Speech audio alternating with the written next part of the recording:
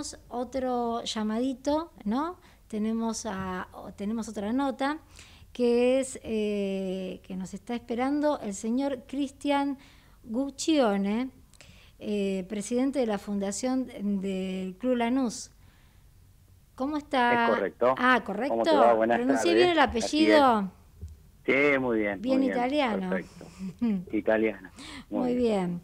Bueno, eh, primero, ¿cómo estás? Ahora voy a empezar a tutear. si, no me dicen nada, vamos a empezar a tutear para estar un poco más más eh, unidos, pero total el respeto pasa por otro lado.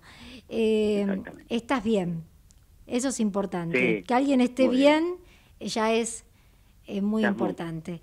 Eh, ¿Por qué nos contás un poquito cuándo se inició la fundación, en qué año y cómo surgió ¿no? Esta iniciativa? Sí, cómo no. Eh, primero, antes que nada, agradecerte el espacio porque para nosotros es muy importante la difusión de, que hacen de la fundación y todo lo que nos acompaña. contarte un poco de la fundación, se crea para darle formalidad a, toda la rama social, a la actividad social que hace el Club Lanús, ¿no? que es un club de más de 100 años. La fundación le dio forma a toda esa responsabilidad social eh, en el año 2012, 2013, el acta inicial es 2014, o sea que el año que viene estaríamos cumpliendo 10 años formalmente, así que ahí nos creamos, con la idea original de sacar el club a la calle. ¿Cuántos integrantes tienen, perdón?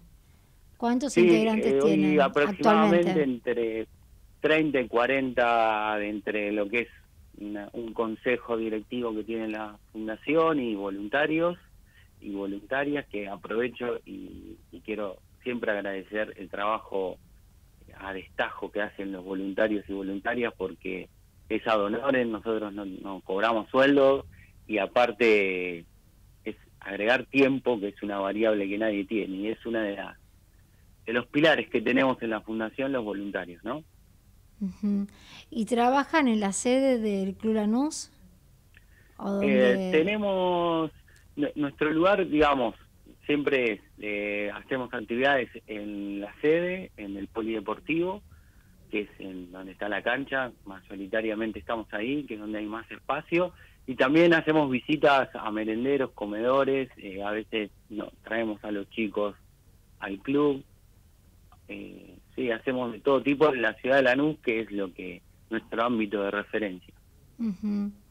Y bueno, ¿y ahora tienen algo pensado, digamos, algún evento para, para recaudar eh, alimentos o bueno, eh, como hablábamos con, la señora, de, con la presidenta del Rotary? que también se encarga de, colaborar ¿no? y de ayudar a la gente que, está más necesitada en estos momentos.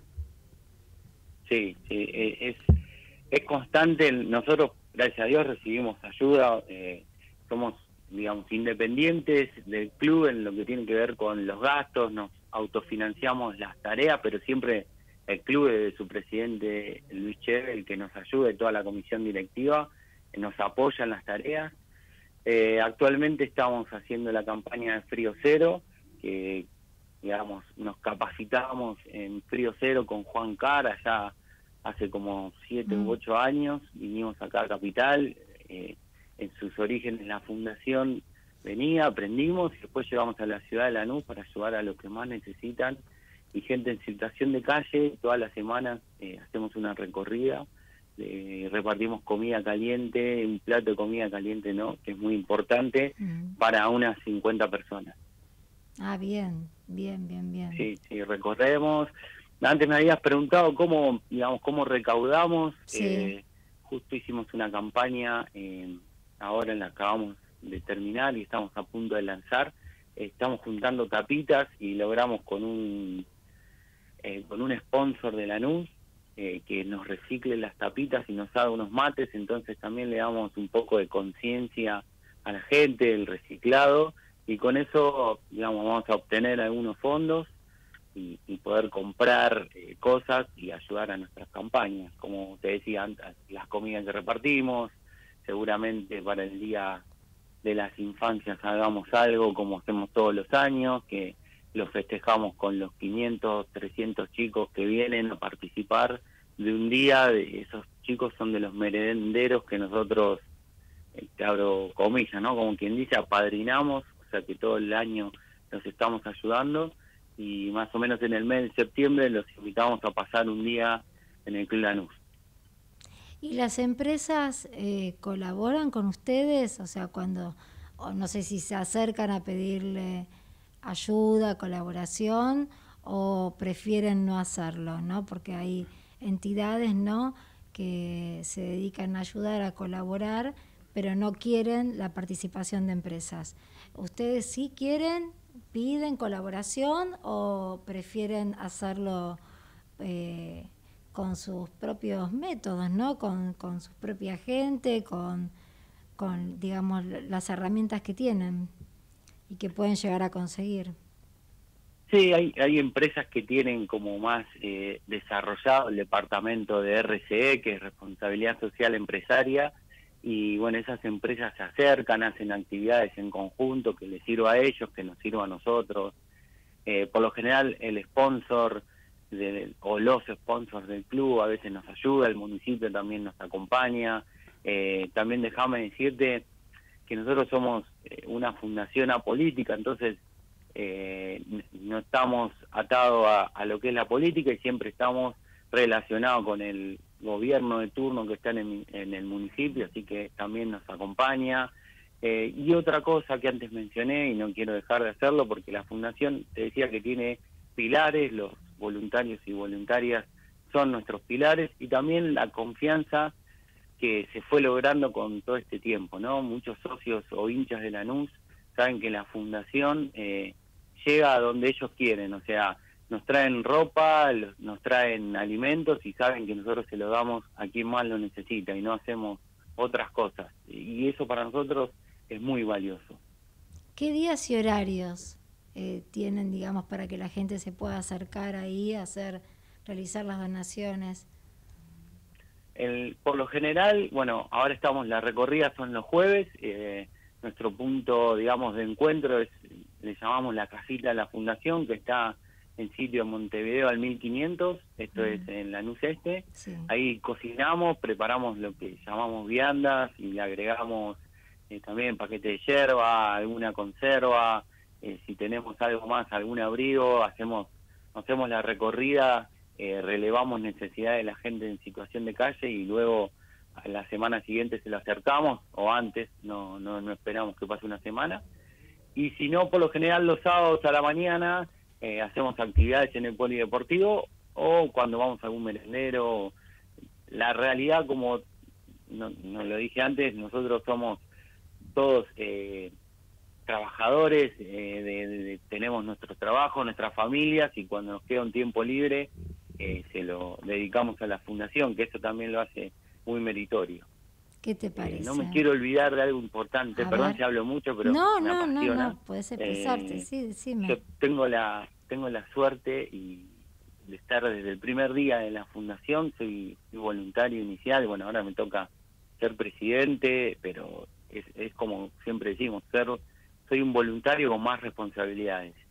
Eh, cuando se crea la fundación, eh, tanto Alejandro Marón, que también fue presidente, y Mariel Bruno, que en ese momento era tesorera del club, eh, me convocaron y me dijeron, mirá, vamos a hacer el departamento solidario, le vamos a poner una, el nombre de la fundacal, y para mí era ser hincha Lanús, porque soy hincha fanático de Lanús, y ser solidario, que era lo que buscaba en, en mi vida, y encontré el lugar, ¿no?, en el club.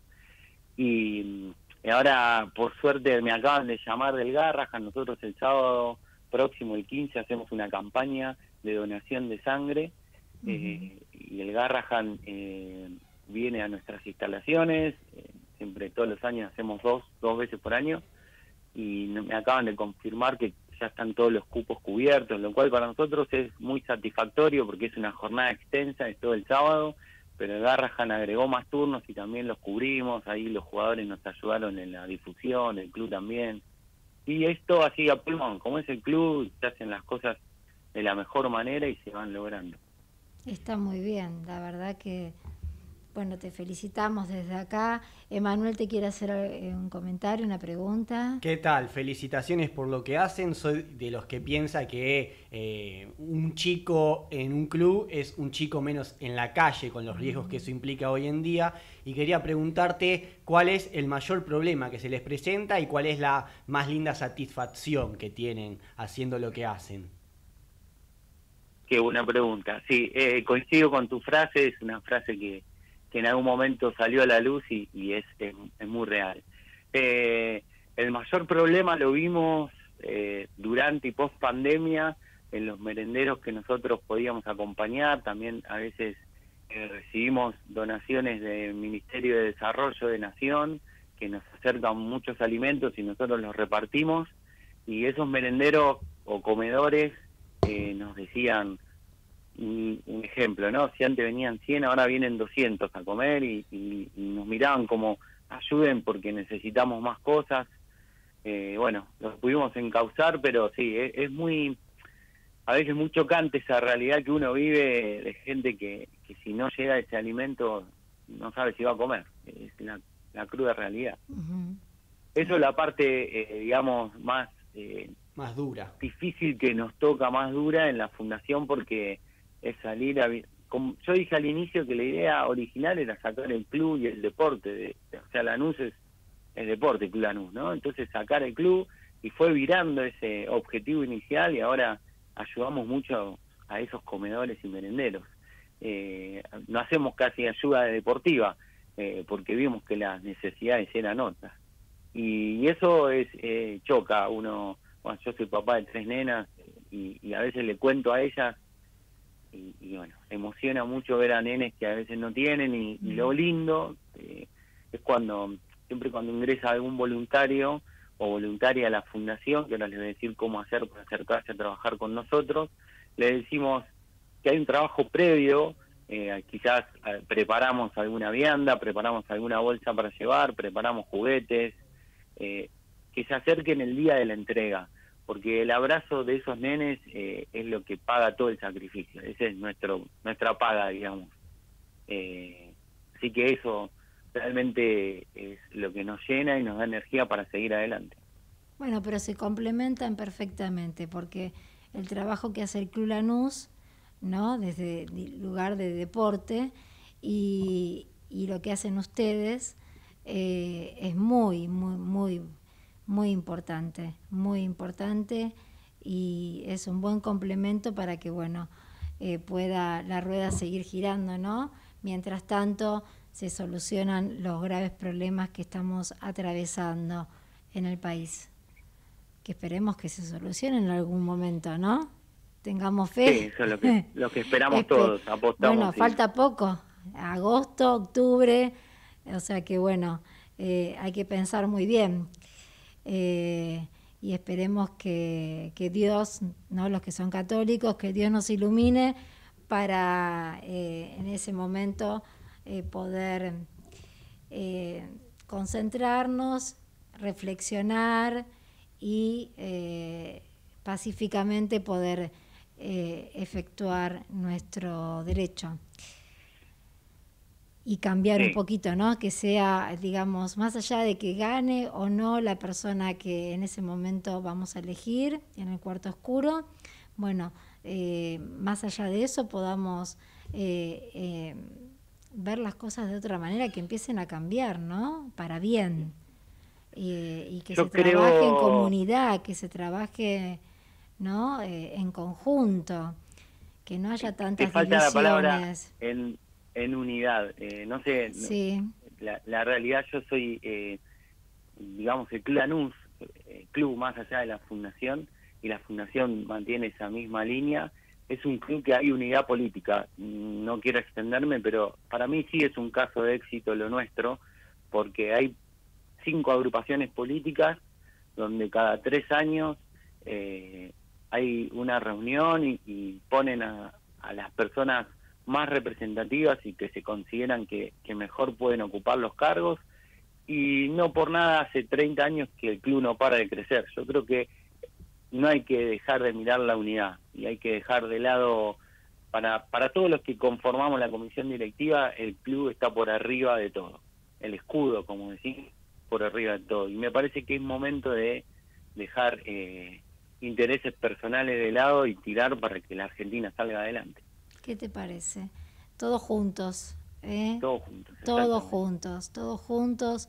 y lamentablemente uno sale a la calle, uno tiene, eh, no vive en una burbuja, o sea que eh, va a hacer las compras, ve el grado de inflación que hay y no se puede creer realmente.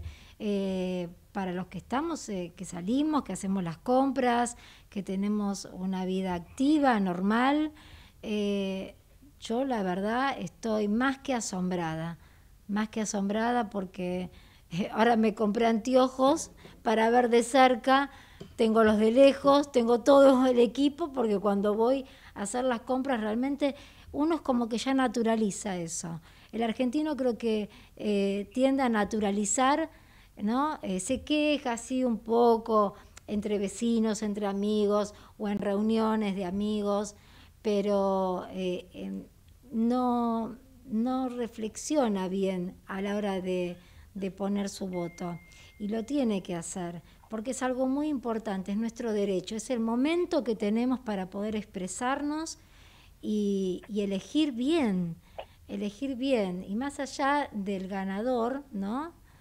Eh, trabajar, como te decía anteriormente, bueno, y como vos también lo, decías, en unidad, ¿no? Eh, formar un equipo, aportar lo positivo para que todo esto pueda salir adelante, porque sinceramente eh, así ya no, no se puede, no se puede. Yo escucho a la gente, voy, estoy en la calle, hablo con muchas personas y no, no se puede creer, se quejan, sí, en forma muy, muy, digamos, eh, a nivel familiar, a nivel eh, íntimo, en círculos íntimos, pero no se, no se expresa en los lugares que corresponden.